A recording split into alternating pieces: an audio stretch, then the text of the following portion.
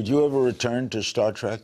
I don't know. I, I, I mean, I, given the right circumstances, I, I suppose. I, The Star something- Trek, the the darkness is coming, right? That's the, a J.J. Abrams movie, yeah. Yeah. Yeah, but that th- those movies, J.J.'s movies don't uh, they don't allow for our presence in the, in that timeline. So we're we're kind of not a part of that universe.